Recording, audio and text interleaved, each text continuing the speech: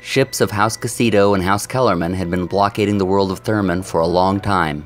Escaped slaves of both houses had made a home of the planet, and both empires wanted them back. A planetary shield generator had kept them both out, but a devious plan by House Cassido, utilizing members of the Rebel Alliance, had brought the shield down, and they were all making their move. Their goals were to land shuttles on the planet for the ground assault, and to gain orbital superiority. To determine who would win this battle, we played a massive game of X-Wing. You can see the initial formations on the board. House Cassido is on the left, and House Kellerman is on the right. The ships in the middle are the rebel operatives as they escape. They didn't mess with anyone, but they did serve as obstacles for the battle. These are the ships we used for House Cassido.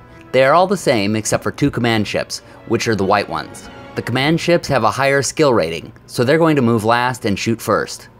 These are the Kellerman ships. They're a little more fragile and maneuverable, and their larger ships are more maneuverable than most medium-sized ships. Because there are so many fighters, we simplified the rules a little bit. All Cassido ships would automatically use the targeting action, and all the Kellerman ships would automatically use the focus action. The command ships on the Cassido side and the medium ships on the Kellerman side would be the only ones that could choose a different action. They would also move last and shoot first. Since Cassido was the house that brought the shield down, they have the initiative, so their ships in general would move before Kellerman, and shoot before Kellerman. You might notice where we made some mistakes on this. Remember, we were doing a huge battle and we tried to get it done in one day. Their objectives are to gain orbital superiority by destroying each other's ships, and also to get their shuttles onto the planet. Either player who gets their shuttle onto the planet will have an extra unit in the upcoming Legion's Miniatures battle, which we'll be playing when it releases. Okay, everyone ready?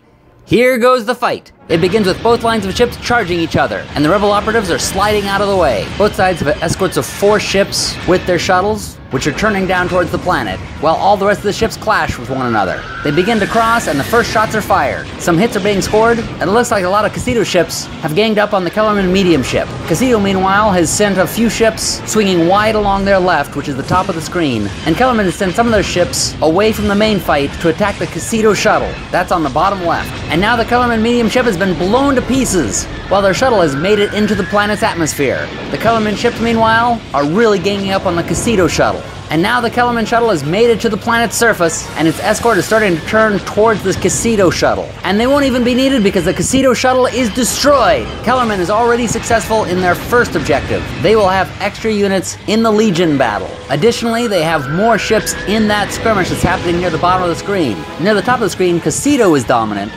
especially because they had some of the ships swing around the top, and they've come around behind a lot of those Kellerman ships. As you can see, it is a real tangle up there. There are so many ships that they're having trouble maneuvering. There's a lot of damage being done, and oh, there are a bunch of ships blown up there on the bottom of the screen near the planet.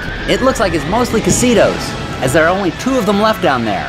The top of the screen has more Cassido ships, but they're taking out fewer of the Kellerman ones. They've just been successfully maneuvering. Cassido is sending two of their ships down to help with those ships near the planet, but it looks like it's going to be too late. The Cassido ships are getting blown up there, and it continues to be a cluster fudge up where there's the larger mass of ships. Just as the two Cassido ships are coming down, their last ship near the planet is destroyed, and now it winds up being again two Cassido ships versus four Kellerman ships. Up at the top though, Cassido continues to be dominant, but they're having trouble hitting the maneuverable Kellerman ships. And there we have a couple more gone down, and the two Cassido ships that came down near the planet are starting to be successful. They're taking down some of those Kellerman ships, against all odds.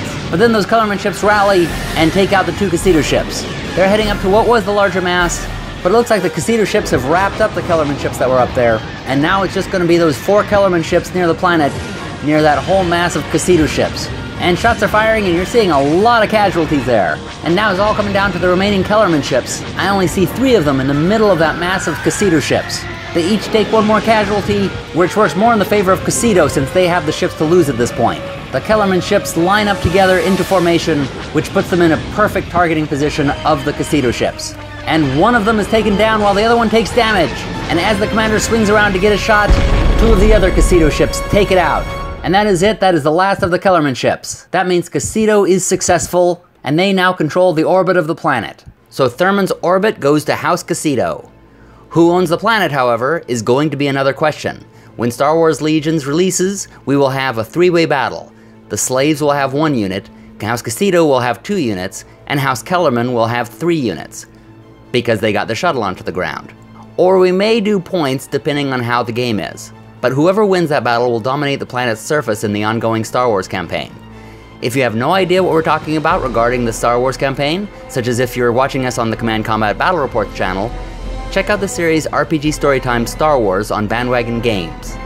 Hope you enjoyed the battle, and happy gaming everybody!